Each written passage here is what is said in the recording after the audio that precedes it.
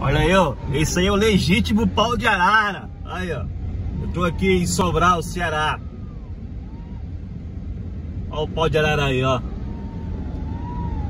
Esse aqui é o legítimo pau de arara, galera.